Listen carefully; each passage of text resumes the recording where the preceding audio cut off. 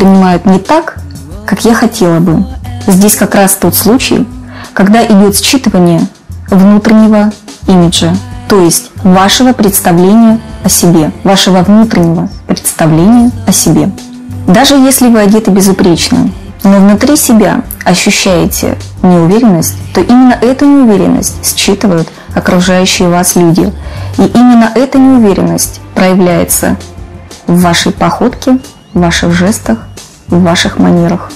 Давайте рассмотрим несколько причин, по которым женщины чаще всего обращаются к нашим специалистам в имидж-центр. В первую очередь к нам обращаются женщины, которые хотят выглядеть более привлекательно и моложе.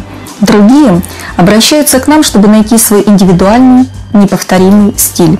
Кто-то желает выглядеть более стильно и презентабельно.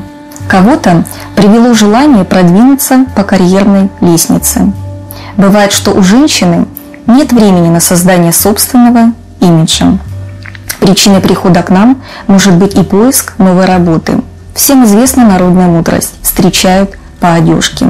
Иногда к нам приходят те, кто не знает, что делать со своим внешним видом, а иногда к нам приходят просто из любопытства. Итак, рассмотрим два примера. К нашим специалистам в имидж-центр обратились две женщины – Татьяна и Людмила – Татьяна – только что назначенная на должность финансового директора. Деловая женщина. Людмила – художник. Занимается каллиграфией, интересуется астрологией, нумерологией, фэншуем. Творческая индивидуальность. Давайте спросим у наших женщин, что их заставило обратиться к нам в имидж-центр. Много лет я проработала в госструктуре, а несколько лет назад я занялась живописью. И мой образ жизни и статус изменились. Ну и появилось желание изменить свой внешний вид и привести его в соответствие с теперешним, в общем-то, моим каким-то внутренним миром. Ну и изменить э, стереотипы, которые выработались в ношении одежды, макияжа, прически. Спасибо. Здесь как раз на лицо формирование нового имиджа, где есть необходимость гармонизации внутреннего и внешнего образов. А теперь давайте спросим у Татьяны, что же ее привело к нам в имидж-центр?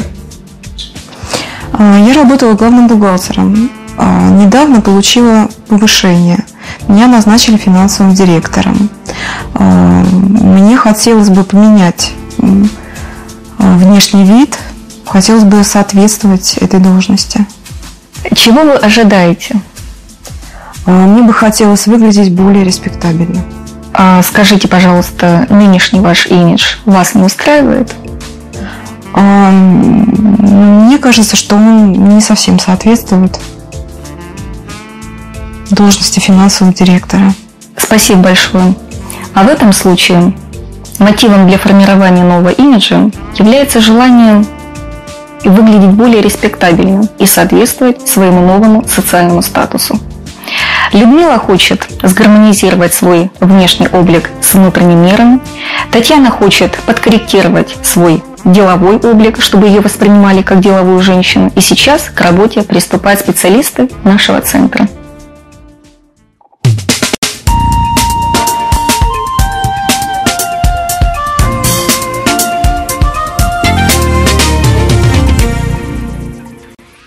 Вам расскажу, какие существуют основные классификации природных колоритов. Первая классификация – это четыре природных колорита – весна, зима, лето, осень. Вторая классификация – это смешанные типажи, более углубленные. Сегодня мы с вами будем изучать первую, основную, более простую для вашего понимания классификацию. Существует два понятия цвета. Первое – это цвет как таковой. И второе – это психология цвета. То, как вы воспринимаете цвет, как вы его чувствуете и ощущаете. А цвет имеет два направления – это теплый и холодный. Практически каждый цвет имеет либо теплый оттенок, либо холодный. Как отличить теплый цвет от холодного? Существует основное правило отличия теплого цвета от холодного. А, в теплый добавлен некий оттенок желтого. именно теплого, э, желток. В холодный оттенок добавлен это синий, синий цвет. Вы можете взять э, краски гуашь и дома потренироваться, поиграть в такую игру. Берете цвет из баночки и раскладываете на две палитры. В одну добавляете желтый цвет, желток, в другую синий. Таким образом вы научитесь отличать теплый цвет от холодного. Эти знания нам, соответственно, дальше пригодятся в определении оттенков. И основа цветовых рекомендаций – это теория времен года. Теплые – это весна, холодные – лето, теплая осень и холодная зима. То, что лежит в основе гармонии природы, формирует и наш цветовой тип. Это пигменты нашего тела, оттенки кожи, глаз и волос –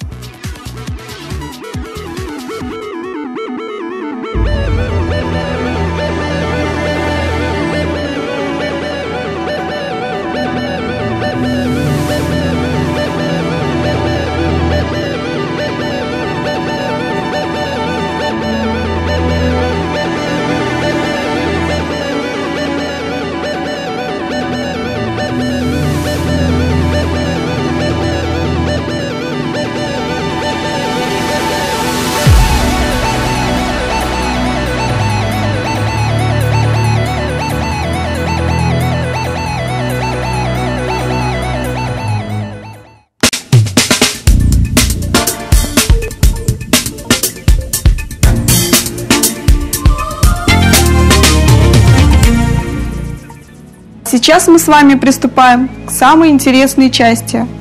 Мы с вами будем изучать на практике, что такое природный колорит, как он определяется и как необходимо подбирать свои лучшие оттенки.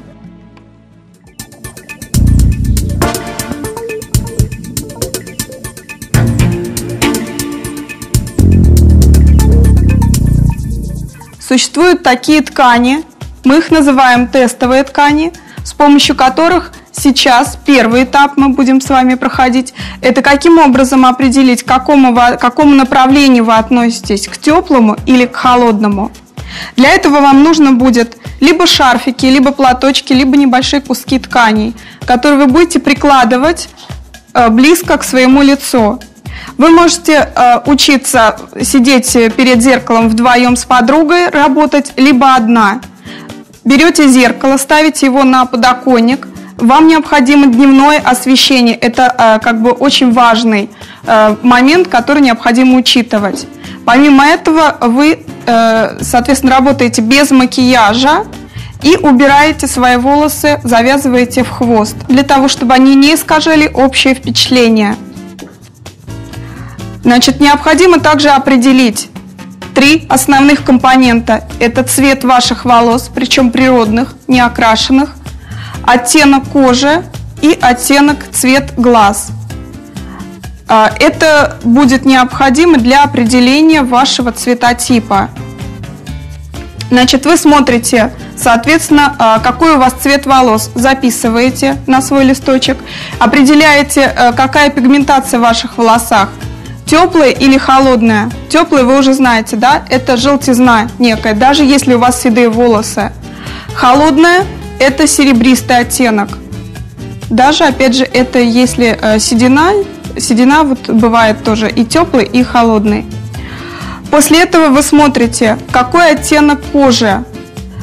Это даже если у вас загар, вы загорали в солярии, Оттенок может быть либо а, с теплой пигментацией, с некой желтизной, с золотом, либо с холодной пигментацией, это серо-желтый оттенок. А, после этого вы определяете цвет своих глаз, смотрите, какой у вас цвет, да, и какого пигмента там больше, теплого или холодного. Вот в данном конкретном случае у нас модель, да, а, волосы седые, основной как бы тон у нас э, холодный, с небольшим количеством пигмента. Тон кожи у нас серо-желтоватый. В некоторых участках есть желтоватый оттенок, э, в основе больше как бы холодного такого серого оттенка. И, соответственно, цвет глаз у нас серо-голубоватый оттенок – цвет глаз у нас именно холодный. Волосы у нас и теплые, и холодные.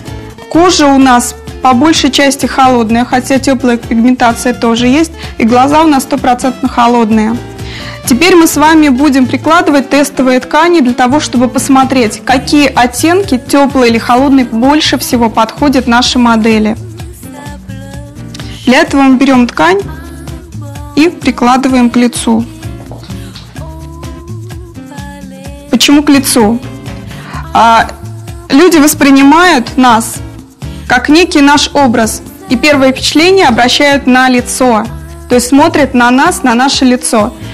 И в зависимости от того, существует ли гармония между вашей одеждой, оттенком волос, макияжем и природным вашим колоритом, э, вас будут воспринимать более позитивно или, скажем, более негативно. Вы можете выглядеть более эффектно, либо болезненно более стильно, более дорого или старше, скажем так, опять же, более болезненно, э, скажем так, общим словом, так хуже будете выглядеть. Вот в данном случае мы смотрим на модели. Предлагаю вам посмотреть сначала на теплый оттенок, как он к лицу нашей модели.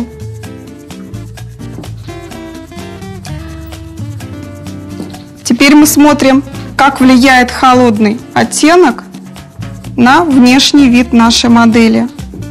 Как она выглядит. Обращаем внимание на цвет кожи, на ровность, уходят ли морщины. Это все визуально, то есть, безусловно, морщины остаются, да, но визуально вы смотрите, насколько э, эффектнее становится с тем или иным оттенком лицо нашей модели. Смотрим на выразительность глаз – и на контур лица. Теперь меняем в обратном порядке. Обратите внимание, в данном конкретном случае э, Людмиле больше подходит не теплый оттенок. Что мы здесь видим? Контур лица немножко расплывчатый, наблюдается некая небольшая припухлость. А, с данной тканью, да, с бежевым оттенком, с персиковым, лицо как бы сливается. То есть ее фактически здесь нет, не видно. Она становится ровной. Обратите внимание, как выглядит при холодном оттенке.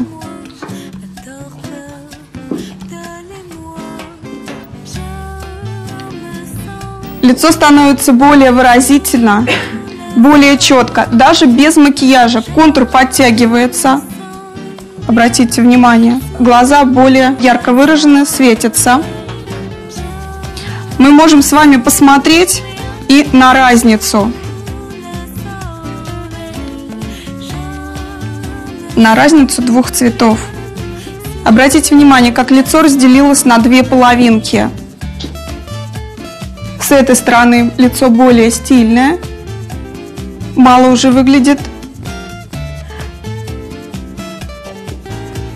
Правой стороны э, выглядит старше и более как бы болезненный вид. То есть мы делаем э, вывод. Из данных двух оттенков э, Людмиле больше подходит холодный розовый оттенок. Теперь возьмем два зеленых оттенка, опять же теплый и холодный. Вот это оттенок теплый зеленый, это оттенок холодный зеленый. Начнем с теплого зеленого оттенка. Посмотрим, как этот цвет влияет на внешний вид нашей модели. Обратите внимание, да, опять же, на кожу мы смотрим, естественно, на общее впечатление, на цвет кожи, на оттенок губ и на интенсивность цвета глаз.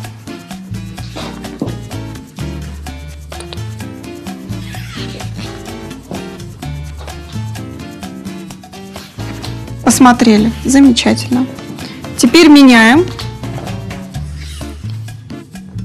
подносим холодный зеленый оттенок.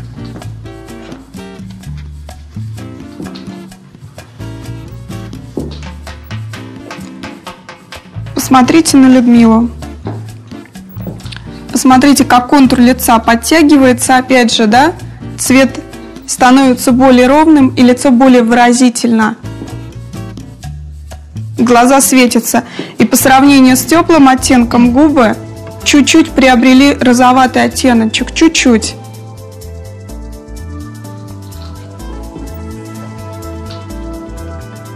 Посмотрели. Теперь мы с вами поменяем местами и посмотрим на разницу.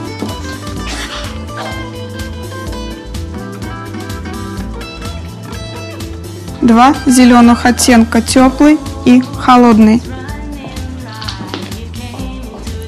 Значит, мы видим, что э, со стороны холодного сине-зеленого оттенка у нашей модели более свежий вид лица.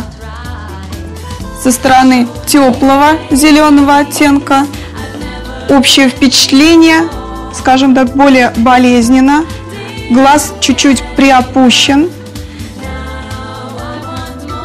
Соответственно, а, мы делаем вывод такой окончательный, да, что больше пока из двух наших пробных вариантов больше подходит холодный оттенок.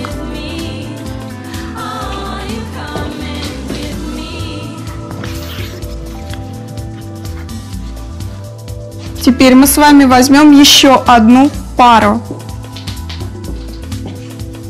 Это желтый желток.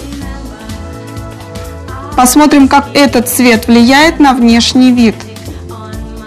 Подходит он нашей модели или не подходит.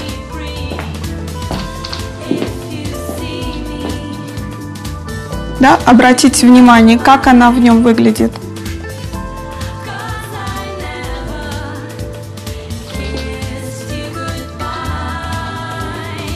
Теперь поменяем на холодный лимонный желтый цвет.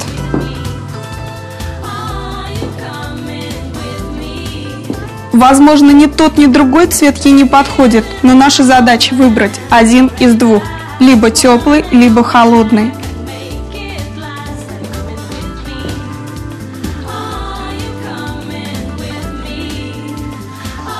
Теперь мы с вами посмотрим на разницу.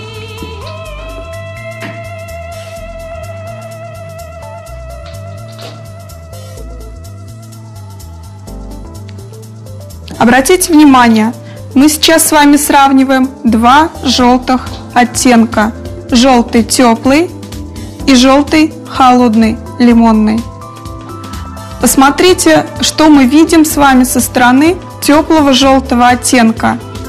Этот оттенок дает желтизну на лицо, некую болезненную желтизну, подчеркивает возраст. Со стороны холодного оттенка лицо выглядит более светлым, несколько свежее. Сейчас мы с вами посмотрим еще одну пару. Теплый коричневый оттенок и холодный горький шоколад. Здесь мы сначала смотрим с вами по одному. Обратите внимание на теплый коричневый оттенок, как он смотрится в контексте нашей модели. Теперь посмотрим с вами горький шоколад, холодный коричневый. Сейчас мы с вами посмотрим на разницу. Какой же из этих двух больше подойдет нашей модели?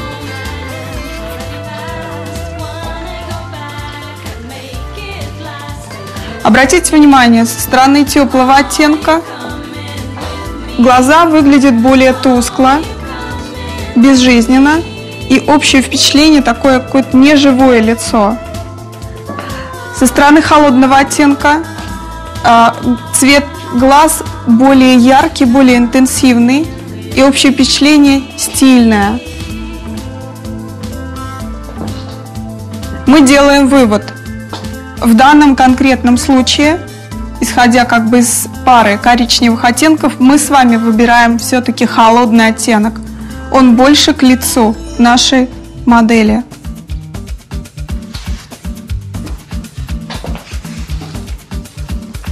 И последнюю пару, которую мы с вами посмотрим на разницу теплого и холодного, это насыщенные яркие цвета, розовый, холодный оттенок, и насыщенный цвет оранжевый, теплый оттенок. Начнем с вами с холодного.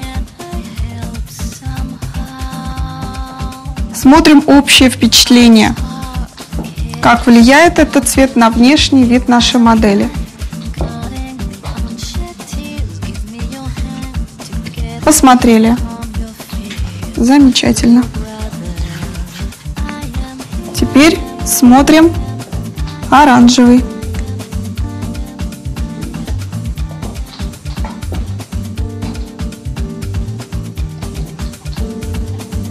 Посмотрели, прекрасно.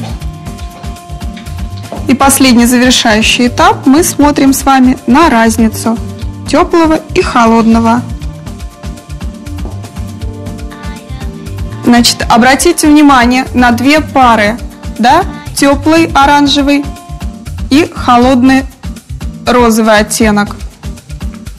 Со стороны холодного розового оттенка у Людмилы э, общее впечатление, она выглядит как бы моложе, более стильный, хотя далеко это не ее лучший цвет. Для Людмилы он яркий, давлеющий, насыщенный. Гармонии здесь как бы полной нету. Но в сравнении с теплым оттенком – рыжий в сравнении вот с холодным розовым, рыжий выглядит хуже, значительно хуже.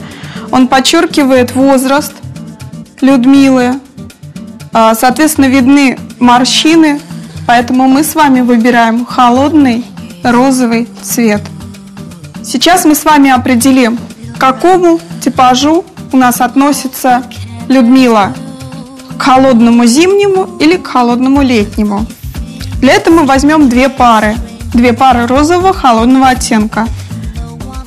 Более интенсивный, насыщенный зимний оттенок или более э, менее интенсивный, менее насыщенный розовый оттенок. И посмотрим, при каком розовом цвете Людмила выглядит более гармонично. Смотрим на разницу. Обратите внимание, со стороны зимнего оттенка у Людмилы меньше гармонии. Больше обращаем внимание на цвет одежды, нежели на лицо Людмилы. Со стороны менее насыщенного розового оттенка, с правой стороны, здесь мы видим больше гармонии в лице. Соответственно, при общении мы обращаем внимание на человека, да, на женщину, нежели на цвет одежды. Для чего мы выбираем лучший цвет?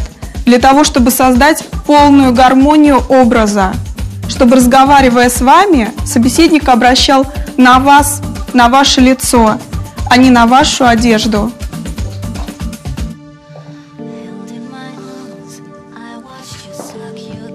Значит, сделаем вывод. Из двух розовых оттенков мы выбираем менее насыщенный летний оттенок. И проведем еще с вами один эксперимент. Возьмем два голубых холодных цвета. Посмотрим также на разницу.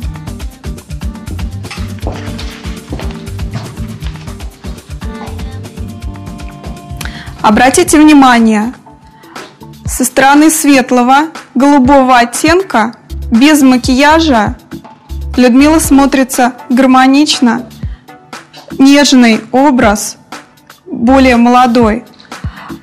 Со стороны более насыщенного синего оттенка Людмила смотрится, э, скажем так, ста несколько старше. Вот, однако, скажем, данный цвет она может использовать при использовании цветовой палитры макияжа. То есть это не самый подходящий цвет, но его можно использовать все-таки, если у вас есть э, на лице макияж. Без макияжа лучше всего подходит вот этот цвет. Таким образом, а, мы с вами посмотрели несколько вариантов цветов, а, подходящих и неподходящих для Людмилы. Мы можем с вами сделать вывод, что Людмила относится к летнему типажу, где краски природы, краски человека менее насыщенные, чем зимние, яркие, насыщенные, э, четкие, чистые цвета. А теперь мы посмотрим с вами, как выглядит на Людмиле черный и белый цвет.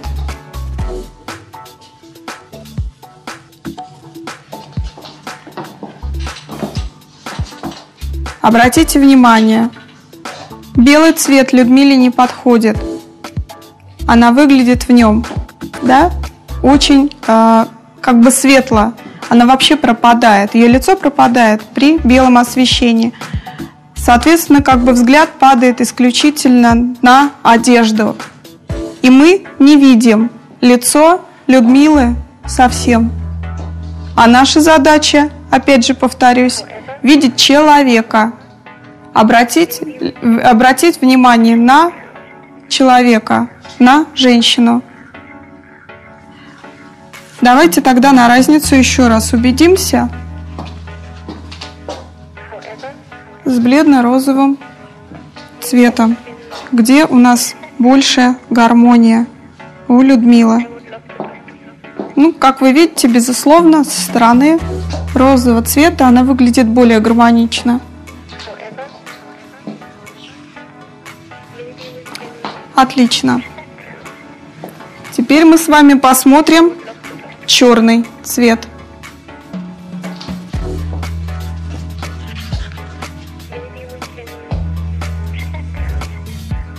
Идет ли Людмиле черный цвет?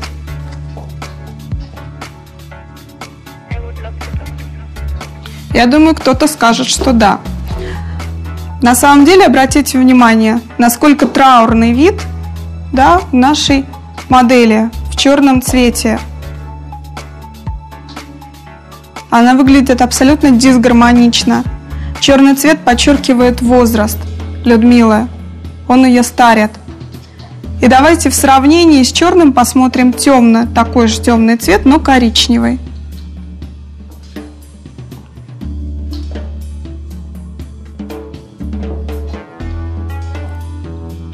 Обратите внимание, коричневый холодный цвет молодит в сравнении с черным Людмилу. Она выглядит моложе. Соответственно, обращаем внимание, да, когда разговариваем с Людмилой, мы смотрим не на ее одежду, а обращаем внимание на общий вид. То есть обращаем внимание на лицо Людмилы. Замечательно. Таким образом, черный и белые цвета Людмиле не подходят. Это не ее цвета.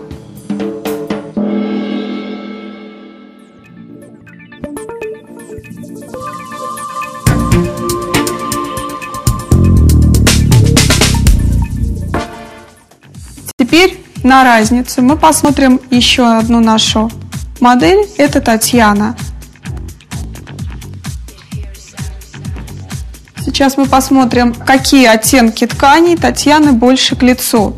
Но для начала мы с вами опять определим да, а, природный цвет волос, а, природный оттенок кожи и глаз. То есть рассмотрим три основных компонента, которые влияют на природный колорит человека.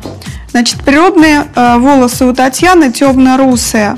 Вот тут чуть-чуть заметно, это корешочки – вот. Остальные как бы волосы, они окрашены краской. Дальше смотрим.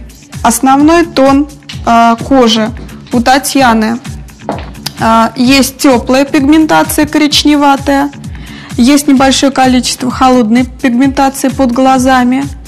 Вот. И есть э, красные участки кожи. То есть кожа у нее и теплые, и холодные. Смотрим глаза. Глаза у Татьяны 100% э, теплая. То есть у нее карий, светло-карий оттенок глаз. Делаем вывод. Волосы у нас природные, Татьяна 100% холодные, глаза теплые, кожа тепло-холодная. Теперь мы будем определять, какому направлению Татьяна больше будет относиться, к теплому или холодному. Здесь точно такая же у нас будет с вами работа. Для начала мы будем прикладывать теплый оттенок. В данном случае это персиковый. И смотрим, как этот цвет влияет на внешний вид Татьяны.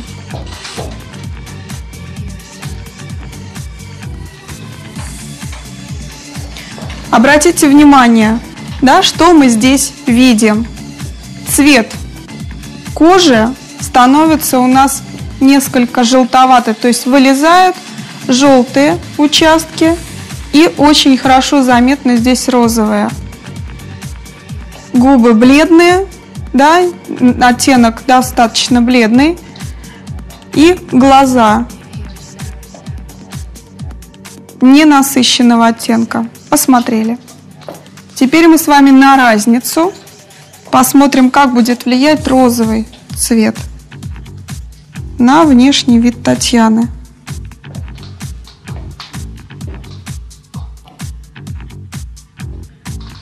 По сравнению с теплым персиковым, розовый выглядит несколько лучше. Что мы видим? Обратите внимание на губы. У Татьяны нет макияжа на лице, но губы вы, выглядят нежно-розового цвета, даже без помады. Дальше смотрите. Цвет кожи стал немножко ровнее. Хотя розовый, возможно, далеко не ее цвет – но по сравнению с персиковым у Татьяны это более подходящий. И обратите внимание на глаза. Цвет глаз стал более насыщенным, более интенсивным. Реагируют у Татьяны также волосы, природные ее. Они становятся более насыщенного темного цвета. Для интереса давайте посмотрим на разницу. Справа мы положим холодный розовый, слева персиковый. И посмотрите, как лицо у Татьяны разделилось как бы на две половинки. Разница очень заметна, да? С этой стороны еще раз повторимся. Цвет губ менее насыщенный, глаза не яркие, цвет кожи как бы сливается. Со стороны холодного оттенка более выразительное лицо у Татьяны. Замечательно. Делаем вывод. Из двух цветов мы выбираем холодный оттенок для Татьяны. Теперь мы с вами возьмем следующую пару. У себя дома вы можете делать точно так же, определяя свой теплый или холодный колорит. Теперь мы поменяем. Для начала мы возьмем холодный оттенок и посмотрим, как он будет влиять на внешний вид Татьяны. Обратите внимание на оттенок кожи, на контур лица Татьяны, на цвет губ и на глаза. Посмотрели? Отлично. Теперь меняем Теперь одеваем холодный, э, теплый оттенок зеленый. Смотрим, что у нас теперь получается.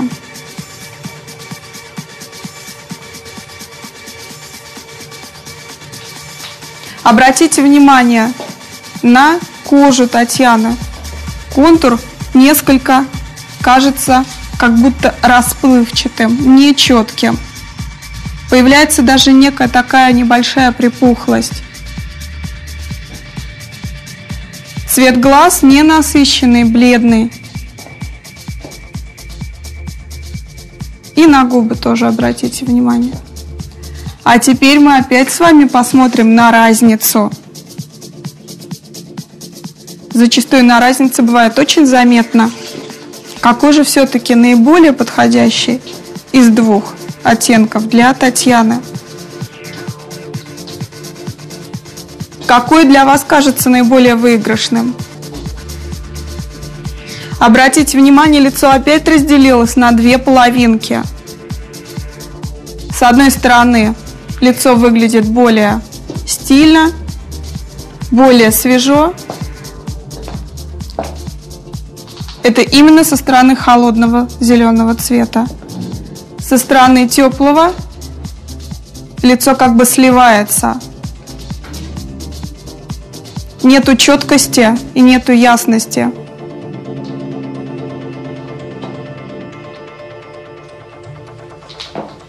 Делаем вывод.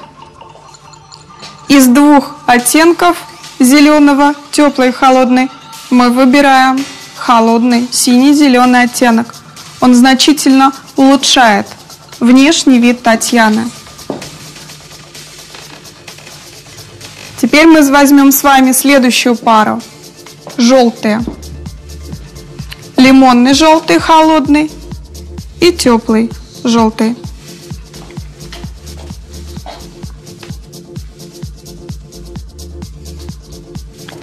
Прикладываем и смотрим. Если вы работаете с подругой, соответственно, подруга вам помогает. Держит у лица ткань, да, и вы вместе смотрите в зеркало и определяете наиболее подходящий. Посмотрите на общий вид Татьяны с желтым теплым оттенком.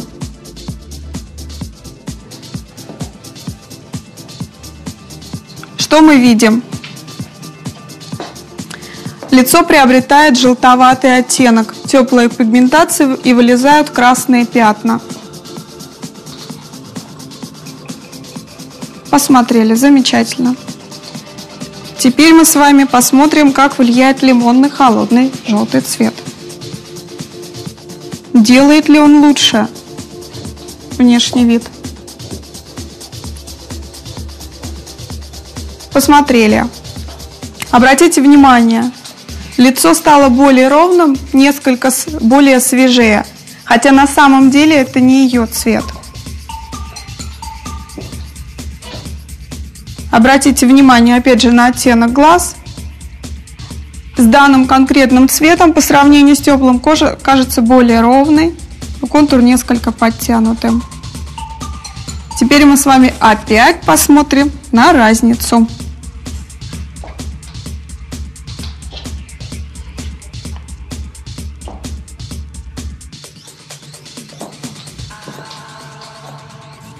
Обращаем внимание на те же компоненты. Да? Мы смотрим на оттенок кожи, на насыщенный цвет глаз, светятся глаза, не светятся, на губы.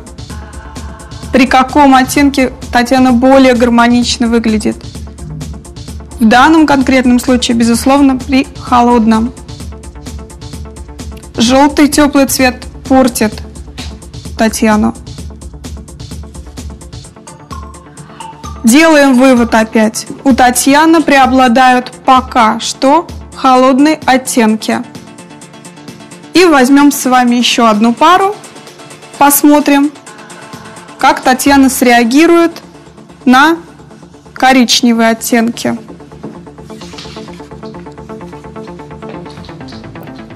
Начнем с теплого.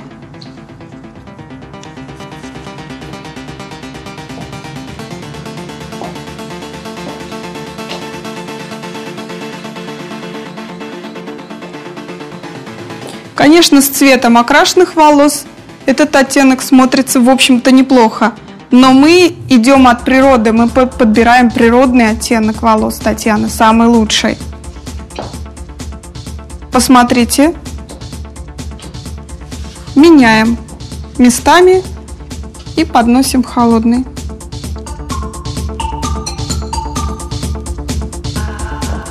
Что мы видим теперь? Все-таки при холодном оттенке Татьяна выглядит более выразительно. Лицо не сливается с одеждой, и Татьяна выглядит более стильно. глаза более насыщенного оттенка. Давайте посмотрим тоже на разницу. Поменяем ткани местами.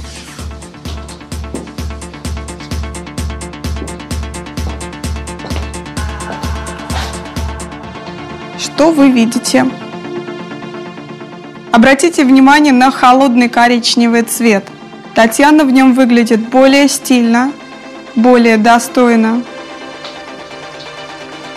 Теплый коричневый цвет ее портит.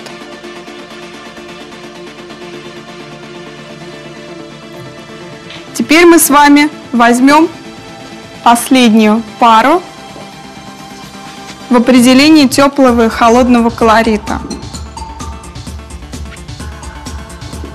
Два насыщенных, два ярких цвета. Посмотрим, как эти оттенки влияют на Татьяну.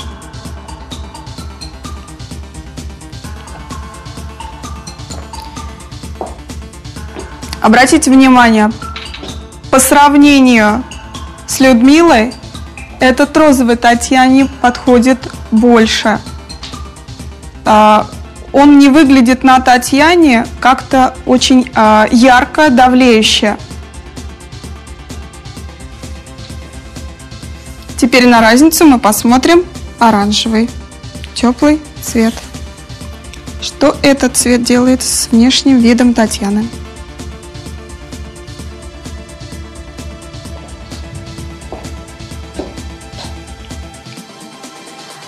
Посмотрите, этот цвет тоже достаточно насыщенный, но Татьяна э, с этим оттенком выглядит как-то э, бесцветно.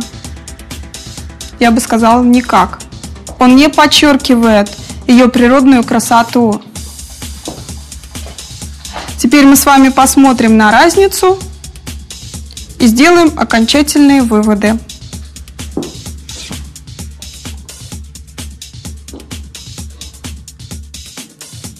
Обратите внимание, насколько а, подходит Татьяне вот розовый холодный цвет. А, учитывая то, что она без макияжа. Этот цвет значительно лучше, нежели теплый оранжевый цвет. Мы делаем вывод. Из всего, что мы посмотрели, Татьяне больше подходит холодная палитра. Теперь мы с вами определим, к какому природному колориту Татьяна относится у нас? А, к, э, к зимнему холодному или к летнему холодному колориту.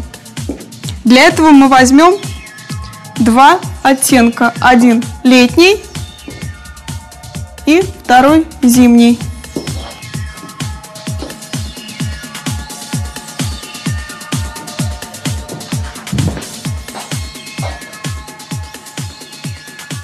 Существует несколько классификаций, как я уже говорила, и поэтому э, вот Татьяна у нас не относится к чистому типажу зимнему, она скорее относится к смешанному типажу. Но в данном конкретном случае мы с вами определяем все-таки, в какую сторону она уходит, в зимний тип или в летний. Вот э, обратите внимание, что с более э, светлым оттенком Татьяна выглядит как-то более блекло не ярко. А, с насыщенным цветом она выглядит стильно, ярко, потому что Татьяна у нас достаточно яркая женщина.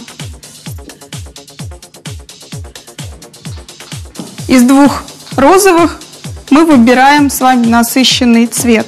Татьяне больше подходит насыщенный цвет. Сейчас мы с вами посмотрим еще одну пару холодных цветов. Это два голубых оттенка. Один насыщенный синий. Посмотрим на разницу. Обратите внимание, опять же, более бледный оттенок Татьяне менее подходит, нежели более насыщенный цвет. Татьяна с ним выглядит более ярко, более гармонично. Теперь мы с вами поменяем местами для того, чтобы убедиться в правдивости того, что я вам говорю.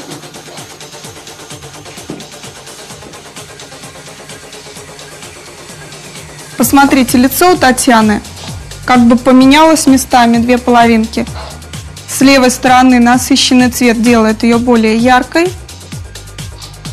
С правой стороны менее заметный. А сейчас мы с вами посмотрим, как влияет на Татьяну белый и черные оттенки.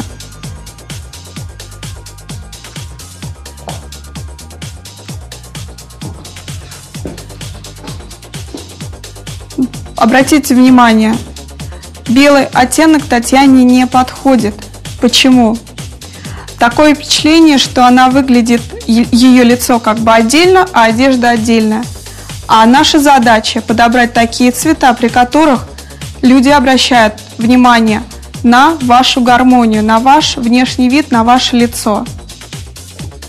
Для разницы мы сейчас посмотрим на неподходящий светлый оттенок розовый в сравнении с белым, для того, чтобы вы увидели разницу. Вот этот Татьяне оттенок не подходит. Однако в сравнении с белым он выглядит гораздо более эффектно.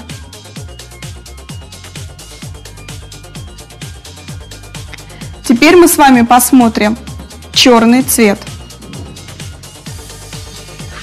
как он влияет на внешний вид Татьяны.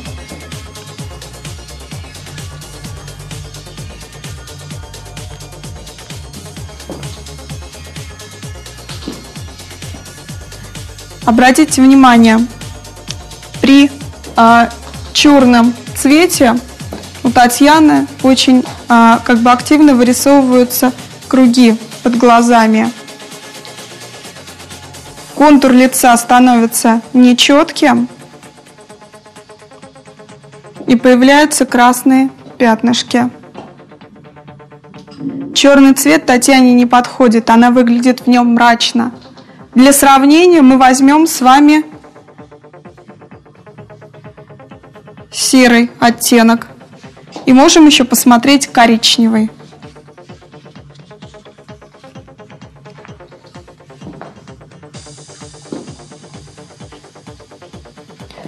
Смотрите, с какой стороны, с каким оттенком Татьяна выглядит более гармонично. Безусловно, со стороны серого оттенка. У Татьяны больше гармонии во внешнем облике. Черный цвет подавляет. Сейчас мы с вами на разницу посмотрим еще темно-коричневый цвет на Татьяне. Обратите внимание, с коричневым все-таки Татьяна выглядит более гармонично, нежели с черным цветом. Теперь подводим с вами итог. Татьяна у нас а, относится к холодному типажу, это безусловно. Однако черный и белый цвет ей не подходит. Поэтому мы не можем сказать, что Татьяна у нас зимний типаж, зима. Поэтому э, Татьяна у нас относится ко второй классификации, более расширенной. Она у нас холодный зимний типаж. Но в данном конкретном случае холодному зимнему типажу черный-белый цвет не подходит. У Татьяны своя палитра достаточно насыщенная. И цвета ей идут яркие, насыщенные, э, как бы активной интенсивности и средней интенсивности как то вот такой розовый, как пример, и средней интенсивности розовый.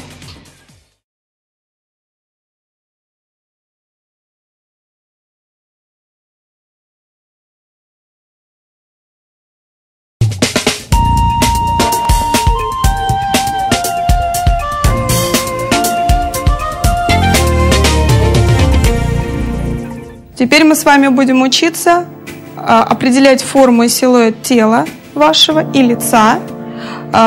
Будете э, учиться подчеркивать достоинства и, соответственно, скрывать недостатки формы своего тела. По сравнению с мужскими фигурами, женская фигура более сложная в определении, поэтому я вам расскажу, какие существуют варианты фигур женского тела. Для чего нужно знать форму, силуэт тела и лица, определить, для чего это нужно? Для того, чтобы, соответственно, подбирать в одежде формы воротничков играют значение, силуэт э, рукавов, длина пиджаков, юбок и так далее. Всему этому мы сегодня с вами будем учиться.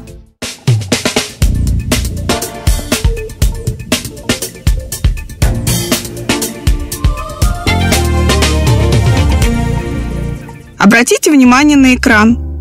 Перед вами типы форм лиц. Существует первое – округлые формы лиц. Это круглая, овальная, вытянутый овал или продолговатая, грушевидная и сердцевидная форма лица. Второе – это угловатые формы лиц. Прямоугольная, квадратная, трапециевидная, треугольная или перевернутый треугольник и ромбовидная форма лица, а также возможны варианты смешанных типов лиц, состоящих из двух фигур. Например, верх прямоугольник, низ полуовал или верх трапеция, низ квадрат.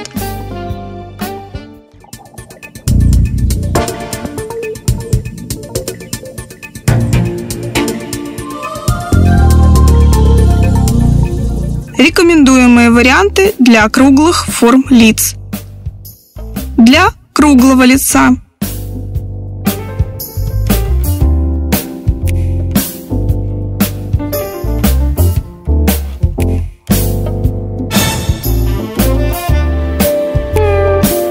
для овального лица.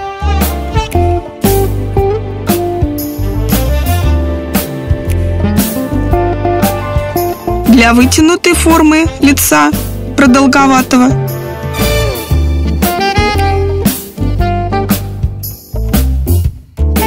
А также на экране вы видите нерекомендуемые варианты для круглых форм лиц.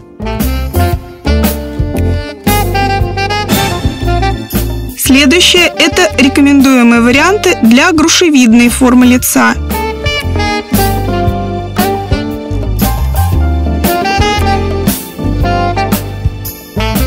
Нерекомендуемые варианты.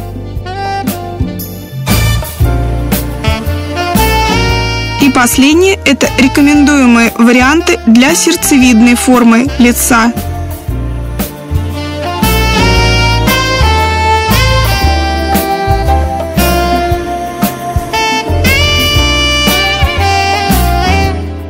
нерекомендуемые варианты.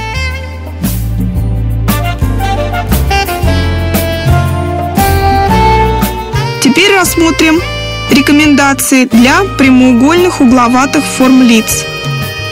Для квадратного лица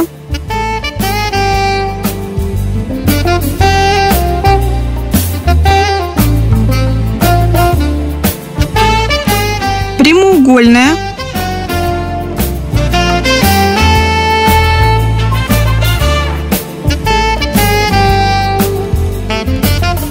А теперь вы видите на экране нерекомендуемые варианты для этих форм лиц.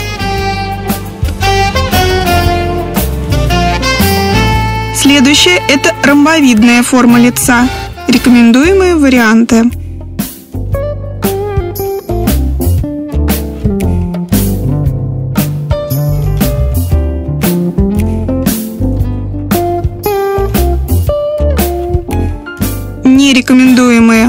Варианты для ромбовидной формы лица.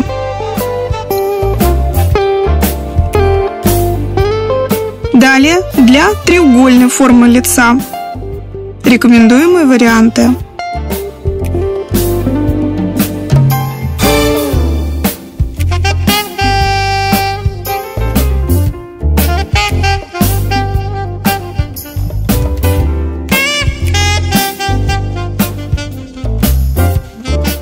рекомендуемые силуэты для треугольной формы лица.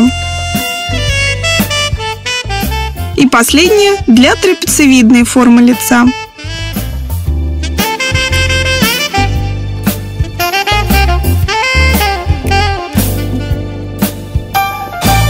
И нерекомендуемые варианты.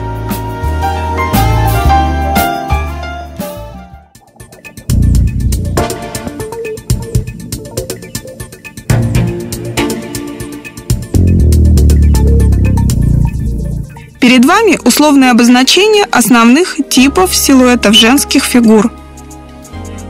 Первое. Существует прямой силуэт женской фигуры. Это когда в лице и в теле присутствуют прямые угловатые линии. Чаще это узкие бедра, могут быть широкие плечи, неярко выраженная талия. Лицо имеет резкие черты и может быть прямоугольным, квадратным, треугольным, ромбовидным – или трапециевидным по форме. Второе – это овальный или округлый силуэт. Это когда в лице и в теле присутствуют мягкие линии. Чаще это может быть полная грудь, округлые бедра и выраженная талия. Лицо может быть круглым, овальным, грушевидным, сердцевидным по форме. А также еще существует смешанный силуэт – это когда присутствуют в лице и теле прямые и округлые линии. Вариант первый. Вверх прямые линии, низ округлые. Вариант второй. Вверх округлые линии, низ прямые.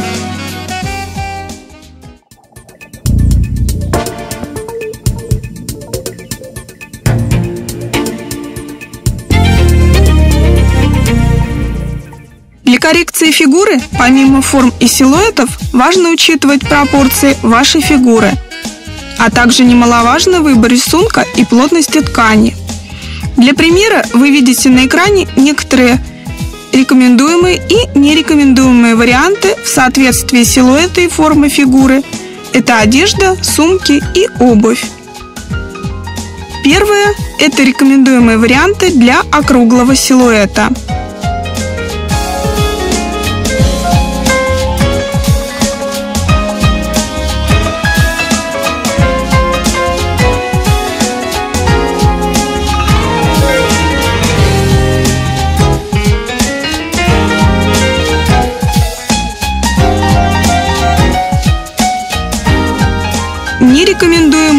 это варианты, относящиеся к группе с прямыми угловатыми линиями.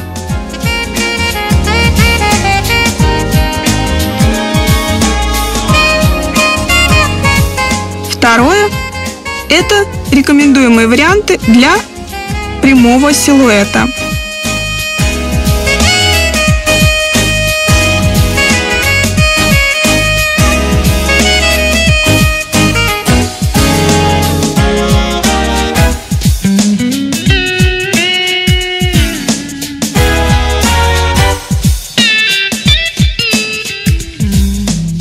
Нерекомендуемые варианты для этой группы – это те, которые относятся к группе с округлыми мягкими линиями.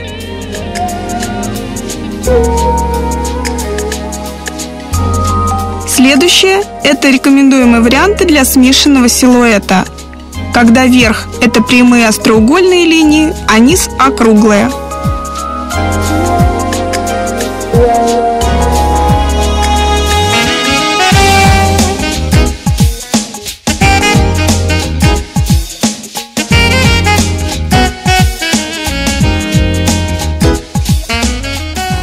Второе, когда верхние округлые линии и низ прямые остроугольные.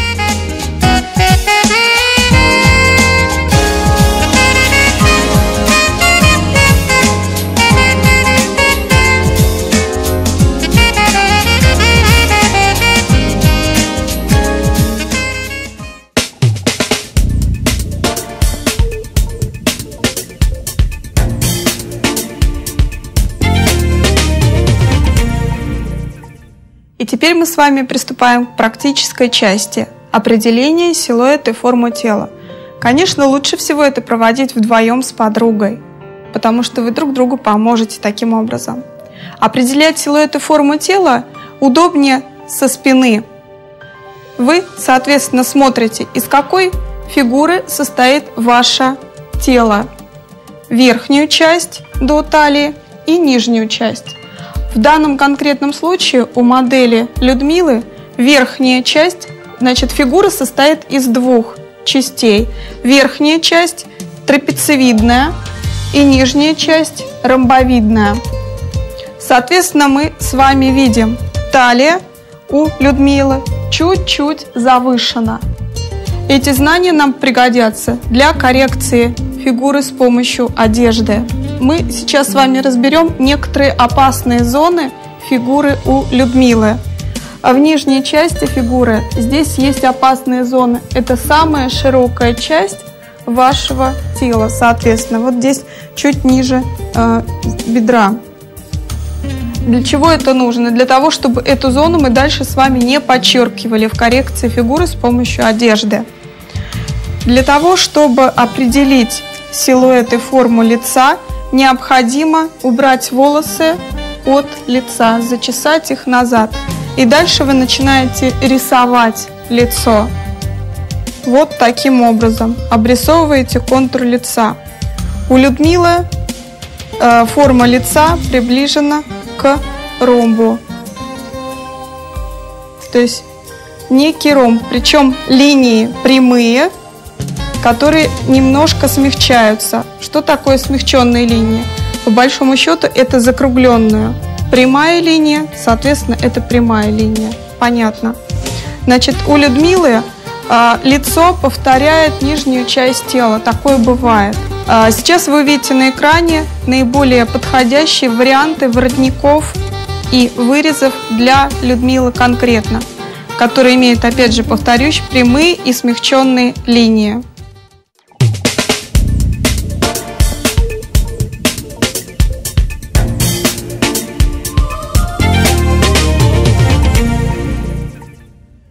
Мы посмотрим с вами на конкретных вещах наиболее подходящие и неподходящие варианты воротников одежды для Людмилы.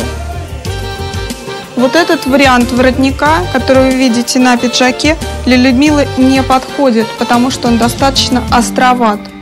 Он будет противоречить силуэту природному и форме лица у Людмилы. Обратите внимание, насколько линии воротника дисгармонируют с общим силуэтом лица Людмилы. Они для нее достаточно резкие. А теперь мы с вами посмотрим наиболее подходящий вариант воротника для Людмилы. В этой блузке воротник имеет менее резкие формы, нежели у предыдущего. Вот этот силуэт на Людмиле смотрится более гармонично. Теперь мы с вами посмотрим еще неподходящие варианты э, форм вырезов у кофт для Людмилы. Вот этот вариант выреза у кофточки для Людмилы не подходит. Это силуэт называется лодочка. Он имеет сплошную прямую линию и дисгармонирует с формой лица. Если бы форма была вот таким образом сделана, это был более подходящий вариант. И последний мы сейчас посмотрим еще один вариант подходящего и неподходящего выреза у кофты для Людмилы. Вот этот вариант для нее рисковат, потому что имеет сплошные резкие линии. Сейчас я вам покажу, как можно было бы сделать по-другому.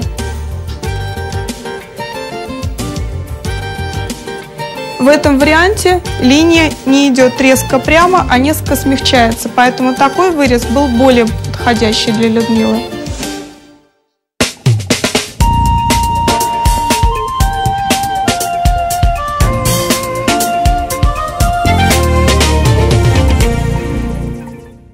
А сейчас мы вам покажем еще один наш секрет. А как правильно выбирать длину вашей юбки. Это, конечно, лучше тоже сделать с подругой вместе. Перед зеркалом вы выбираете длинную юбку или платье, или берете кусок ткани, одеваете колготы двух разных оттенков, темный и светлый, и берете туфельки.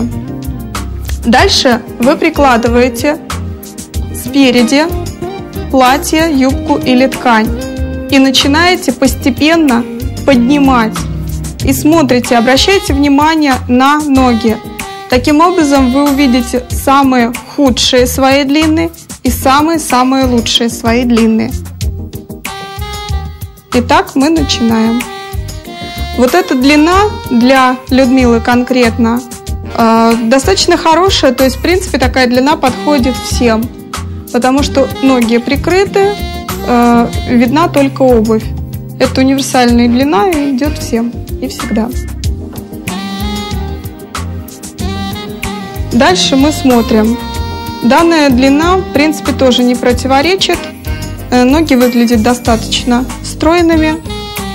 Ничего такого мы не видим. А вот здесь у нас начинает уже вылезать нехорошая длина.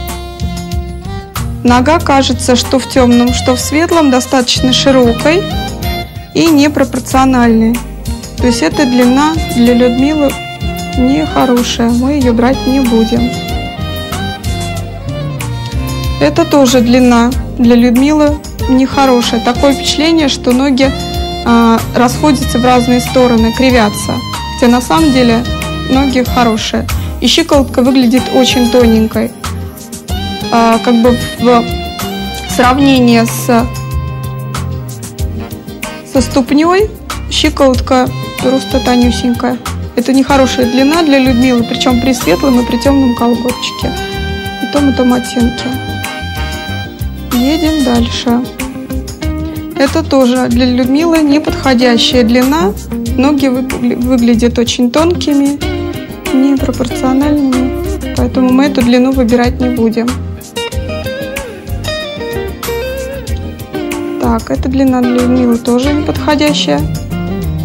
Причем в темном колготочке, в, в темном цвете нога выглядит более, скажем так, кривой, нежели в светлом. Светлый здесь несколько лучше. Поехали дальше. Смотрим. При этом оттенки колгот и при этом оттенки ткани светлом все-таки нога выглядит более гармонично, более стройной, нежели в темном. Но это, опять же, далеко не самая лучшая длина Людмилы. Вот обратите внимание, а, нога в светлом оттенке все-таки пока доминирует. Она выглядит гораздо лучше, чем в темном. В темном очень а, широкая икра, часть икры, и нога уходит в сторону. Такое впечатление, что две ноги от двух разных женщин. Поехали дальше. Вот эта длина тоже достаточно неплохая для Людмилы, но только в светлом оттенке, в темном нога все-таки выглядит достаточно кривой и уходит в сторону. Принципе, в светлом для Людмилы это неплохая длина, однако э, коленочка выдает возраст, поэтому, в общем-то, лучшая из всего, что мы пока посмотрели, была середина коленочки. Вот. Ну, я думаю, что мы выбираем середину коленки длину в светлом оттенке колгот. Причем, а, даже если вы меняете, э, при том, что вы меняете оттенок туфель, обуви, оттенок колгот и оттенок юбки, соответственно, а, по-разному будет выглядеть да, и ваши длины. То есть длин, длину вы выбираете при данном конкретном цвете юбки, при данном конкретном цвете колгот или чулок и при данном конкретном цвете туфель.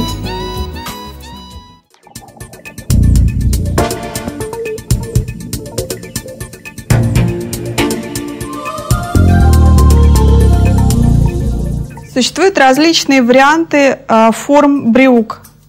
Мы сейчас будем смотреть, как различные э, силуэты брюк смотрятся на Людмиле. Вот данный конкретный э, как бы случай. Брюки зауженные к низу. Вот для Людмилы это не подходящий силуэт брюк, потому что они подчеркивают самую широкую часть Соответственно, такое создается впечатление, что Людмила, э, как бы размер Людмилы значительно больше э, существующего. именно вот эта зауженная к низу часть брюк создает впечатление как бы широких бедер. Вот. Но, скажем так, силуэт карманов здесь более-менее подходящий. Если как бы на этих брюках будут дополнительные накладные карманы, предположим, то это будет еще более ухудшать внешний вид, а, соответственно, нашей модели. То есть делаем вывод, что данный конкретный силуэт брюк для Людмилы не подходит. Помимо этого еще подчеркиваются острые э, части вот самой широкой части фигуры Людмилы, вот, и как бы выделяется, то есть нету некой такой плавной линии. То есть эти брюки э, для Людмилы не подходят. Второй вариант силуэта брюк. Они отличаются тем, что нижняя часть несколько более расклешена не зауженные. Такой силуэт для Людмилы более предпочтителен, так как э, как бы акцент переносится с э, бедер да, на нижнюю часть. То то есть здесь такого яркого акцента нету. Соответственно, э, делаем вывод, да, что зауженные брюки для Людмилы, как мы уже говорили, не подходят. Более подходит э, как бы расклешенный силуэт брюк либо от э, колен немножко, либо от бедра. Сейчас мы еще с вами посмотрим вариант, как можно фигуру, рост женщины либо укоротить, либо сделать женщину более высокой. Если вы хотите выглядеть более высокой, чтобы вас, ваш рост, соответственно, был выше, вот в данном конкретном случае у Людмилы достаточно невысокий рост, метр пятьдесят восемь, поэтому мы а, для того, чтобы скажем, сделать Людмилу выше, э, брюки одеваем без подворота. Именно подвороты на брюках, на капре укорачивают рост у женщины. Возьмите себе как бы этот момент на заметку. Вот посмотрите для сравнения, да, какая, по вашему мнению, нога э, короче, правая или левая. Понятно, что вы видите, что э, с правой стороны нога кажется более э, длинной, то есть рост у Людмилы кажется более высокий, нежели с левой стороны. А сейчас мы вам покажем, а, как можно избежать недостатков, да, те, которые в фигуре есть, соответственно, выбрать правильно э, длину своей кофты, рубашки, пиджака – Соответственно, а, как, бы, как избежать опасной зоны и как подчеркнуть достоинство своей внешности. Вот в данном случае, как я уже говорила, у Людмилы вот эта опасная зона, которая значительно расширяет э, фигуру, если мы подчеркиваем. Вот данная кофта как раз находится линия э, окончания на самой широкой зоне. Вот для того, чтобы увести как бы от нее взгляд и не подчеркивать, соответственно, не э, визуально не показывать, что Людмила значительно большего размера, чем есть на самом деле, мы выбираем более подходящую длину кофточки да, или пиджака для Людмилы. То есть, соответственно, длина э, кофты должна быть либо ниже, либо выше самой широкой вашей зоны, самой опасной зоны. Вот в данном конкретном случае мы чуть-чуть приподнимаем кофту и на разницу видим, с какой стороны у Людмилы более предпочтительно было бы выбрать кофточку, да, какой длины. Соответственно, аналогично а, брюкам вы можете выбрать себе также длину рукава. Если а, у вас есть необходимость удлинить руку, то вы выбираете рукав без манжета.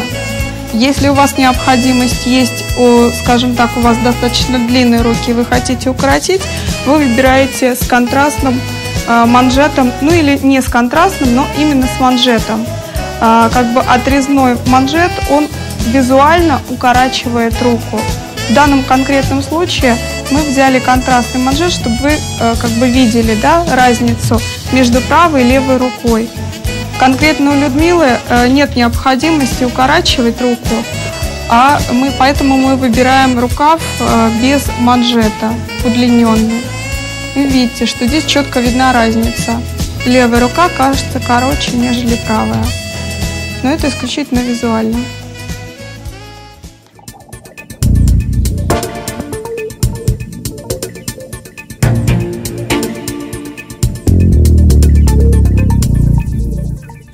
А теперь мы еще одну нашу модель посмотрим, определим форму и силуэт тела Татьяны и форму лица. Обратите внимание, у Татьяны фигура тоже состоит из двух как бы частей, из двух фигур.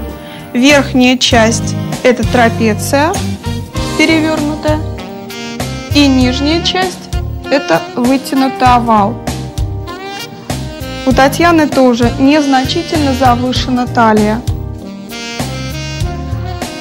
Дальше мы смотрим форму лица у Татьяны.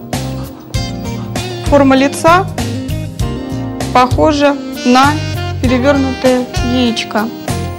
Сейчас на ваших экранах вы увидите наиболее подходящие силуэты, э, вырезы кофточек и э, формы воротников конкретно для Татьяны.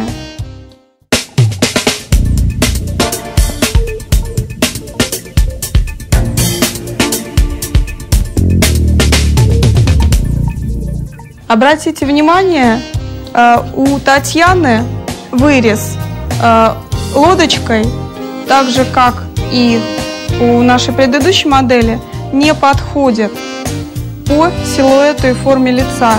Сейчас я покажу наиболее подходящий вариант, который подошел бы для э, нашей модели, для Татьяны. Вот это был бы наиболее подходящий вариант. Он повторяет силуэт и форму лица, и, соответственно, более гармонично смотрится для Татьяны. Этот вырез для Татьяны наиболее подходящий, потому что он повторяет силуэт и форму лица. У Татьяны прямые смягченные линии. В данном конкретном варианте мы видим э, вырез у кофточки имеет прямые смягченные линии.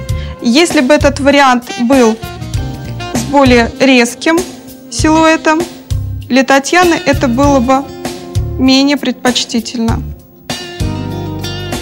Вот такой резкий силуэт для Татьяны менее предпочтительно. Дополнительная рюшечка вот эта создает большую мягкость для силуэта лица.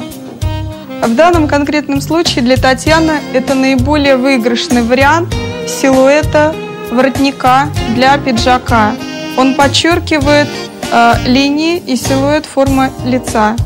А вот этот вариант силуэта воротника для, для пиджака а, для Татьяны неподходящий совершенно, потому что он имеет очень резкие линии и создается ощущение дисгармонии.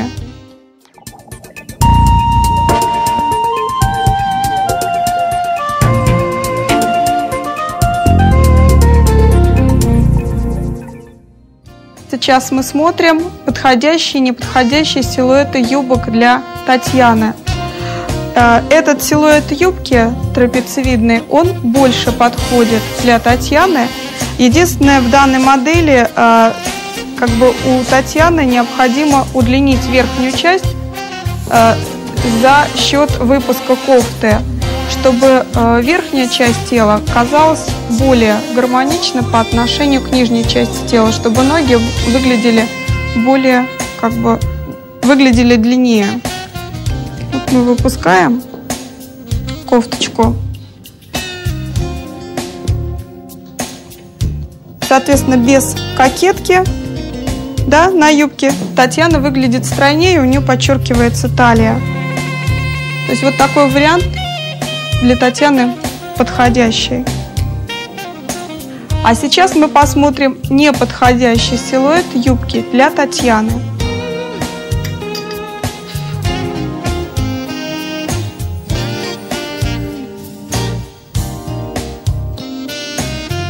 Обратите внимание, что у Татьяны э, данный силуэт юбки подчеркивает э, недостатки фигуры, да, опасные зоны у Татьяны.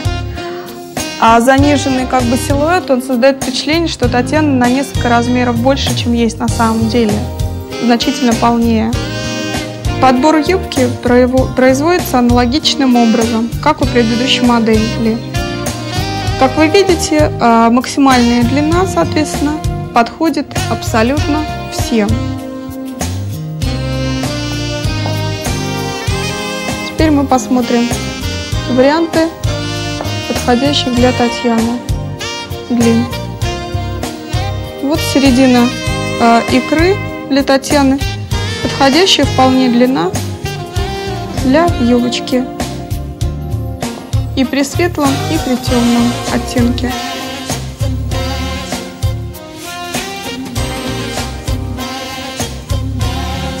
Вот эта длина тоже наиболее подходящая для Татьяны.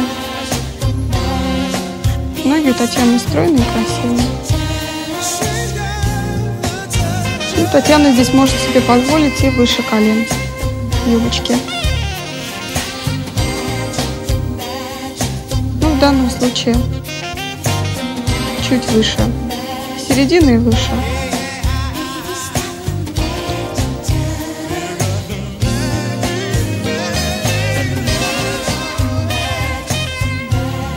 Наверное, максимальная, минимальная длина у Татьяны несколько выше колен.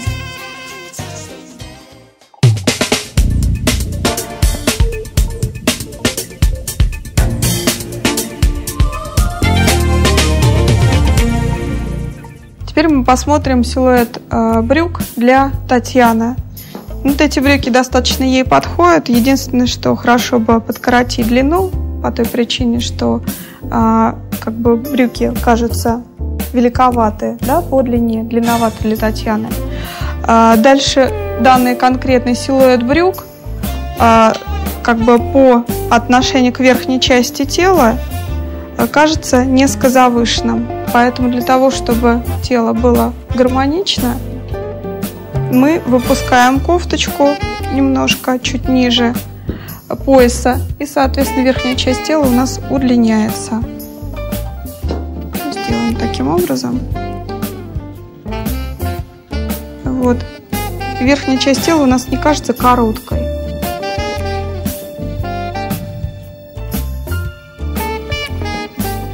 Вот таким образом для Татьяны больше подходит, соответственно.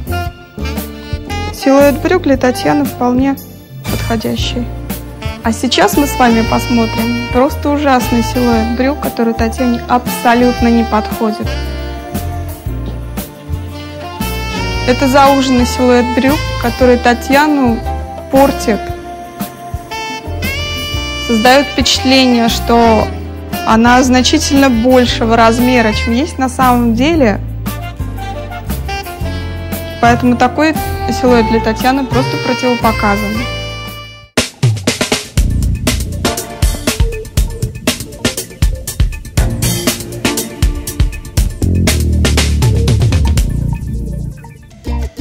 Какие бы ветры и веяния не царили над миром моды во все века, они не смогли унести из нее такую легкую, порой почти невесомую деталь чуть ли не каждого наряда, как знакомый нам всем шейный платок. Яркие и спокойные, будничные и праздничные, по-разному завязанные шейные платки и косынки к лицу абсолютно всем. С помощью платка можно преобразить любой наряд – если вы решили разнообразить свой гардероб, купив несколько платков и косынок, то вот советы, которые вам помогут. Как минимум два платка должны иметь одинаковый размер и быть сделаны из одного материала. Это позволит вам легче комбинировать их между собой. Наиболее оптимальный размер шейного платка 90 на 90 сантиметров – или 70 на 70. Те платки, которые меньше, чем 70 на 70, трудно завязывать на шее, так как они слишком короткие. Их применяют для украшения волос, а также они прекрасно смотрятся, как яркое пятно в кармане пиджака или небрежно приколотый к отвороту жакета. Оптимальный размер шейного шарфа 28 на 135 сантиметров. Короткие шарфы применяются для украшения волос, а более длинные – как пояс. С помощью платка можно подчеркнуть ваш индивидуальный неповторимый стиль, А сейчас я покажу варианты ношения шейных платков для разных стилей одежды. Наша первая модель – Людмила. Она творческая личность. Для Людмилы подойдет романтический стиль. Сейчас я покажу несколько вариантов. Берем шейный шарф и складываем его в тонкую полоску. Набрасываем на плечи и завязываем на два узла –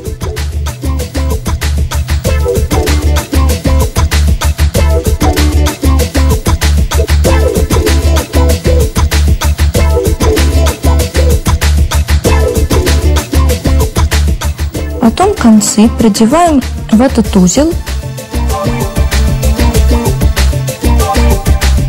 навстречу друг другу.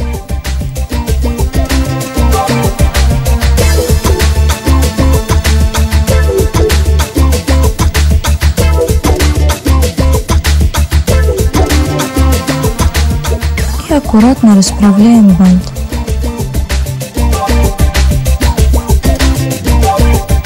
Еще один вариант для Людмилы – это розочка с жемчужной ниткой.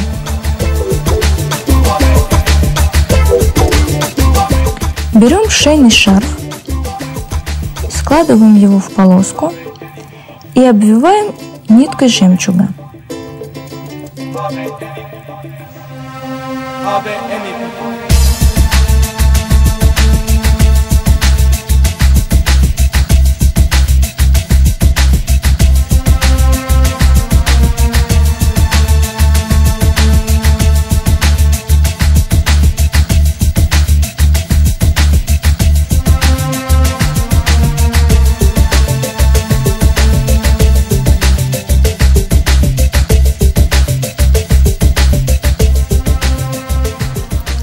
Надеваем шарф на шею, чтобы жемчужная нитка не раскручивалась, продеваем в петли противоположные концы шарфа, таким образом скрепляя нитку. Концы нитки. Оставшиеся концы шарфа сворачиваем в жгут.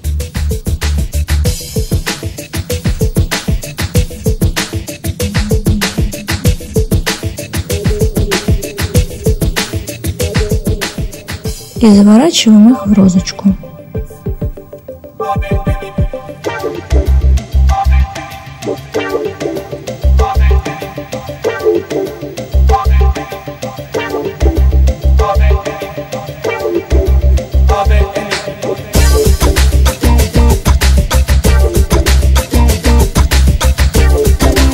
Вторая наша модель Татьяна. Она деловая женщина. Для Татьяны подойдут такие варианты. Например, галстук из шарфа. Берем шарф и складываем его в полоску. Надеваем на шею. Один конец у нас короткий, другой более длинный. На коротком конце мы завязываем на тугой узел.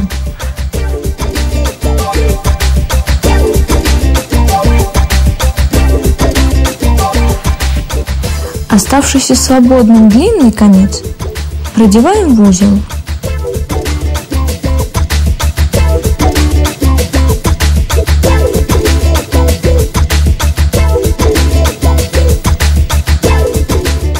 И аккуратно затягиваем и расправляем галстук. В летнее время под пиджак в офис можно сделать оригинальную блузку из большого платка.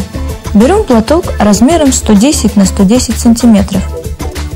С изнаночной стороны в середине платка завязываем небольшой узел.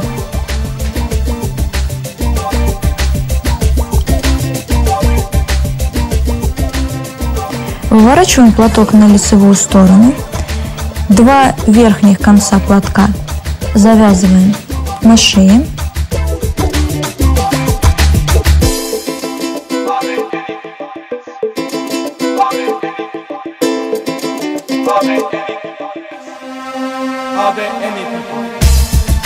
а два нижних на талии.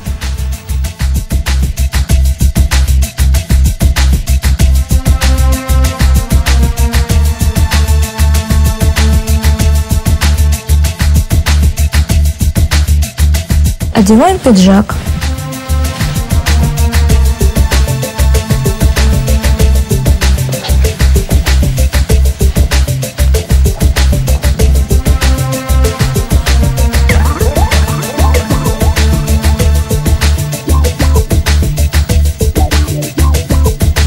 Складываем шарф в полоску, завязываем посередине узел.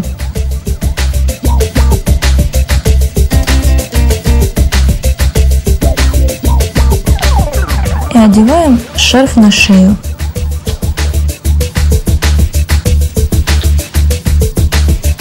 Концы завязываем сзади под воротничком рубашки.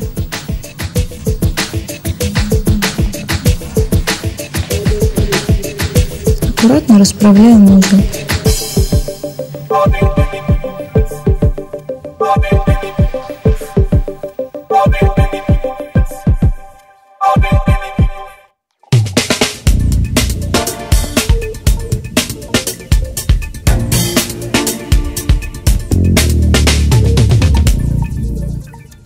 Теперь мы приступаем с вами к очередному этапу нашей работы.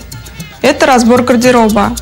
Это достаточно интересная часть, но с другой стороны для некоторых из вас, наверное, будет э, некой болезненной, потому что придется вам расстаться со своими некоторыми неподходящими вещами. Э, разбор гардероба начинается после того, как вы посмотрели коррекцию своей фигуры. То есть посмотрели достоинства, недостатки своей фигуры, определили силуэты, которые вам подходят, нашли свои лучшие цвета. После этого мы начинаем разбирать свой гардероб. Как правило, гардероб разбирается, делится на три основные части. Первое – это вещи, которые вы не носите достаточно давно, больше полугода. Вы автоматически их отвешиваете э, в одну сторону, откладываете. Следующая часть – это вещи, которые вам нравятся, которые вы носите постоянно, вы их любите. Вы отвешиваете в сторону. И третья группа – это те вещи, которые вы одеваете иногда и которые тоже, возможно, вам нравятся. А, мы с нашими моделями посмотрели коррекцию, и сейчас мы будем разбирать гардероб в контексте тех особенностей, которые мы определили, их внешности, в контексте цвета и в контексте э, силуэтов фигуры. Следующий этап нашей работы – это формирование гардероба, это грамотное формирование гардероба. Э, ваш гардероб, как правило, составляется в контексте вашего образа жизни, в контексте сферы деятельности, возраста – а, исходя как бы из этого, вы начинаете составлять капсулы гардероба. А, капсула гардероба, весь ваш а, как бы гардероб, он составляется на, допустим, мы будем сейчас говорить о составлении гардероба на год. Туда входят три как бы основные моменты. Мы составляем гардероб на зимний период, на межсезонье и на летний период времени.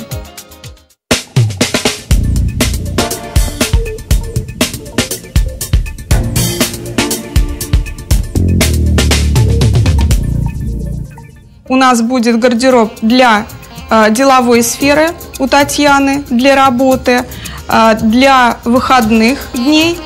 Спортивная капсула будет. Это для того, чтобы Татьяна занималась спортом, так как она у нас посещает фитнес-клуб. И последняя – это капсула для э, выходных праздничных мероприятий. Сейчас вы на своих экранах увидите приблизительный перечень тех вещей, которые в данном конкретном случае для деловой женщины могут быть приемлемы. Татьяна, какую вы одежду чаще всего одеваете? Вот этот костюм. Угу. Так. И вот этот костюм. Вот такой костюм. Угу.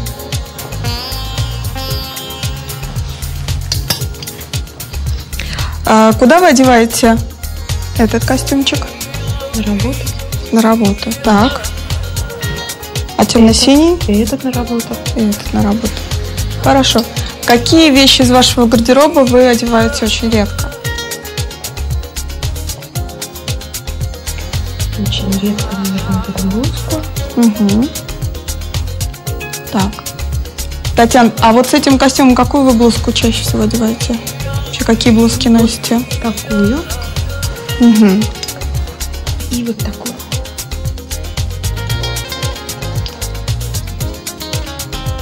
Понятно. Теперь давайте посмотрим, разберем гардероб нашей Татьяны. А, мы с вами посмотрели, выбрали лучшие цвета для Татьяны, да, и помним, что она относится к холодному колориту. Поэтому, соответственно, тот любимый костюмчик, который Татьяна носит, мы его отвешиваем, он не соответствует ее цветовой гамме. И э, помимо этого, такой костюм э, не соответствует той должности, которую Татьяна будет занимать в ближайшее время, на которую она назначена. Отвешиваем в сторону. Далее. Вот эта блузка тоже, э, хотя Татьяна сказала, что она ее редко одевает, но мы ее убираем, потому что она не соответствует, опять же, цветовой гамме. У Татьяны холодная цветовая гамма. Дальше, что мы еще убираем? Мы убираем вот эту кофточку черную, да, опять же по цвету. Она у нас не подходит.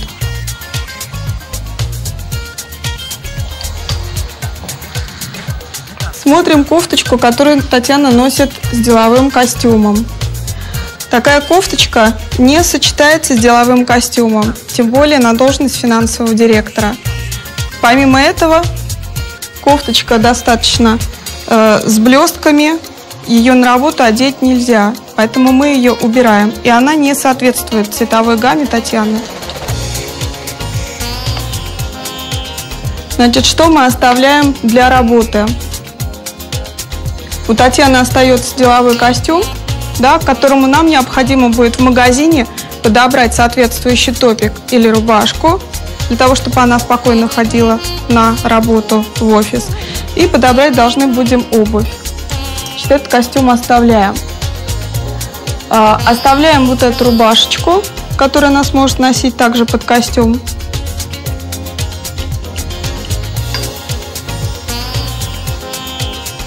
розовую рубашечку, которую Татьяна носит с костюмом, на работу носить не рекомендуется, потому что она прозрачная. Мы ее оставим для праздничных каких-то вечерних мероприятий, вечеринок.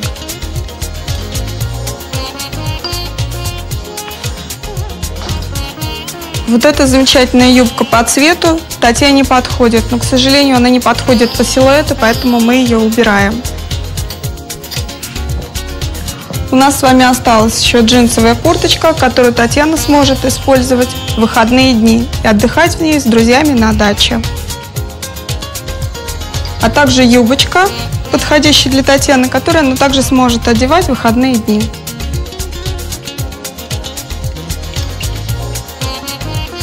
Основная задача у нас была разбора и подбора одежды для э, новой работы Татьяны для э, должности финансового директора. Поэтому мы отобрали из гардероба Татьяны подходящий деловой костюм. Единственное, к нему нужно будет в магазине купить нам, э, подобрать топик или рубашечку и, соответственно, обувь.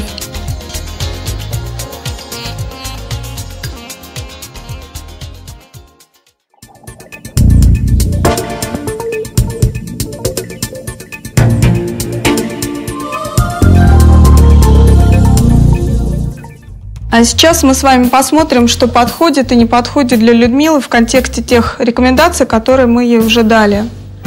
Вот этот пиджачок для Людмилы не подходит, он не соответствует ее цветовой гамме, и этот цвет несколько старит Людмилу.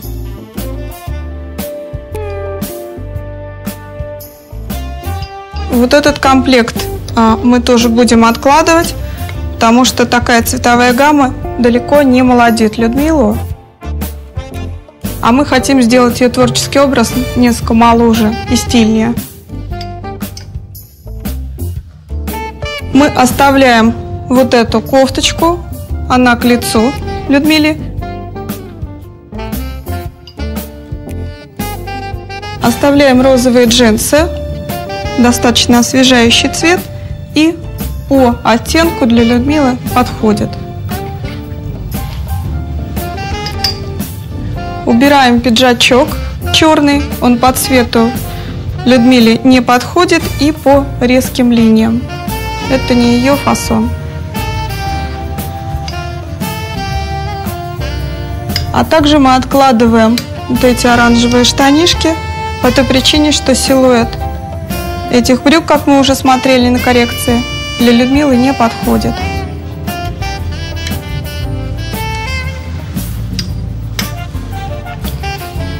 А теперь, прежде чем отправиться в магазин за новыми покупками, мы воспользуемся рекомендациями нашего стилиста по подбору причесок и отправляем наших моделей парикмахеру делать модные стрижки и окрашивание волос.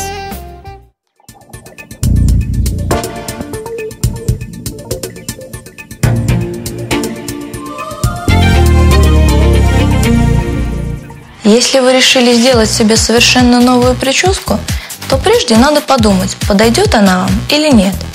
Прическу следует выбирать с учетом формы вашего лица. Удачная прическа должна подчеркивать ваши достоинства и скрывать недостатки. Мы сделали фотографии наших моделей, а сейчас подберем для Людмилы и Татьяны новые прически. Сначала для Татьяны. Вот эта прическа, которую вы видите на экране, не подходит Татьяне, потому что у нее нижняя часть лица уже верхней. И вот эта стрижка, у нее основной объем волос сконцентрирован наверху. И это делает Таня на лицо еще более диспропорциональным. Посмотрим следующую прическу. У этой стрижки плоская макушка, и из-за этого Таня на лицо кажется квадратным, а идеальной формой лица является овал, и мы стремимся, чтобы лицо было приближено к овалу. Поэтому эта прическа Тане тоже не подходит. Вот эта стрижка Таня идет, но мы помним, что Таня занимает у нас должность финансового директора, а эта прическа делает ее слишком мягкой, что нежелательно для этой должности. Поэтому мы подберем для Татьяны прическу построже. Вот эта прическа достаточно экстравагантна, что недопустимо для должности финансового директора, поэтому мы ее также не берем. Пересмотрев несколько вариантов причесок, мы остановимся вот на этой. Это прическа виде каре на ножке. У нее слегка приподнятая макушка. Удлиненные пряди приближают Тане на лицо к овалу. Прическа довольно простая и строгая. Теперь цвет волос. Мы определили, что Татьяне подходят холодные оттенки. Соответственно, вот этот желтоватый теплый цвет ей не идет. И мы подбираем для Татьяны холодный цвет горького шоколада. А теперь подбираем прическу для Людмилы. У Людмилы большой лоб, поэтому ей не рекомендуются прически без челки с открытым лбом. Вот такие, как эта. У этой прически слишком густая и длинная челка. С такой стрижкой Людмила выглядит старше, и ее лицо кажется хмурым. Поэтому эта прическа Людмиле не подходит. Вот эта прическа слишком пышная для Людмилы. Ее лицо на фоне такой прически кажется очень маленьким. У вот этой прически волосы прилизаны к голове, и такая стрижка вытягивает лицо Людмилы, что также нежелательно. Исходя из всего вышесказанного, я рекомендую Людмиле вот эту прическу. Здесь волосы средней густоты пострижены слоями, Лоб частично закрыт челкой. Эта прическа очень подходит для творческого образа Людмилы. Людмиле подходят холодные оттенки. Поэтому я подбираю ей светлый пепельный цвет волос.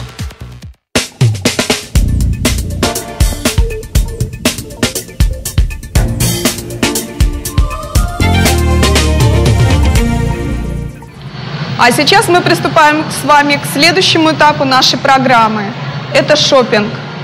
Для некоторых женщин шопинг – это шок, стресс. Для кого-то это терапия, а для нас это любимая работа и приятная забота о вас. Для большинства женщин основная проблема – это полный шкаф, а одеть опять нечего. Почему это происходит? Зачастую вещь покупается вне зависимости от вашего гардероба. Просто она вам понравилась. Это интересный цвет или она вам подходит. Как избежать ненужных покупок? Вот несколько советов. Не ходите никогда в магазин в плохом настроении, потому что все равно купленные вещи лягут мертвым грузом. Не покупайте вещи большего или меньшего размера, думая о том, что вы через пару недель похудеете или поправитесь. Никогда не покупайте вещи на авось или на всякий случай. Эта вещь ляжет мертвым грузом в вашем гардеробе, вы ее не будете носить. Руководствуйтесь принципом «лучше меньше, да лучше». Все вещи должны сочетаться в вашем гардеробе. Если вы идете в магазин, берите именно ту сумму денег, которую планируете потратить, для того, чтобы не отвлекаться на неподходящие покупки. Если вы собираетесь покупать брюки или юбку, необходимо взять с собой те туфли или ту обувь, в которой вы собираетесь ходить с данной конкретной вещью. Не покупайте вещь без примерки. Обязательно посмотрите, как она на вас сидит, подходит ли вам. Распродажу. Если вы видите надпись о скидках 50, 100, 150 процентов, не поддавайтесь ажиотажу. Держите себя в руках. Скорее всего, эти вещи носиться вами не будут. Обращайтесь за помощью консультанта магазина. Но если вы видите, что вещь не ваша и она вам не подходит, твердо скажите «нет». Не покупайте вещей, перегруженных большим количеством деталей. Она будет плохо сочетаться с остальными предметами гардероба. Если вещь вам нравится, подходит по цвету, размеру и хорошо сидит, но вы раздумываете, покупать ее или нет, лучше отложите ее на пару часов, поразмыслите, а позже примите решение. А также вы можете обратиться за помощью к нашим специалистам. Мы поможем вам сэкономить время, деньги и избежать плохого испорченного настроения. А теперь поговорим, как подготовиться к шопингу, к самому процессу. Прежде всего, разобрав гардероб, вы составляете список предметов гардероба, который вы собираетесь покупать в магазине. Далее вы планируете свой бюджет, рассчитываете, сколько вы готовы потратить на ту или иную покупку. После этого составляете маршрут похода по магазинам и неукоснительно следуйте этому маршруту. Выбирайте специальный день для шопинга, накануне хорошенько выспитесь, перед походом в магазин плотно позавтракайте и в отличном настроении отправляйтесь на шопинг. Удачных вам покупок!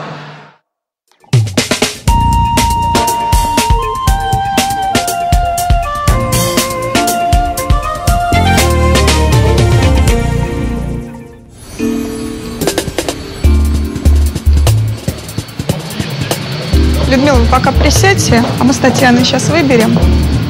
Здравствуйте. А, у нас вот в Татьяны есть деловой костюм. Нам необходимо подобрать рубашечку, топик, ну и наряд на повседневную носочку для делового гардероба. Помогите нам, пожалуйста. Давайте попробуем. Нам нужно... Я думаю, что если блузка нужна, да, то Да, рубашечка. вот такого плана, если Мгм, Да, вполне. цвет, да? Спасибо. Так, Топик нам нужен еще. нужен еще? Да. Я думаю, Для что с костюмчика. этой будет. Мгм, Да, спасибо. Нам брючки нужны еще. И трикотаж. О, отлично. Спасибо. И кофточка под эти брючки, какая-нибудь голубенькая. Мгм. Замечательно. А шарфики есть у вас какие-нибудь платочки? Вот, вот этот голубой, пожалуйста, нам дайте. Замечательно. Все, спасибо большое. Померить. Отлично.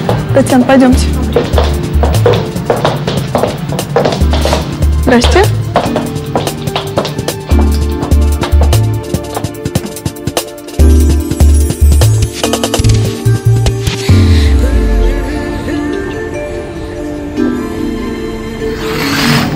У нас еще вот Людмиле нужно подобрать что-то для творческого образа. У нас есть джинсы, и необходимо как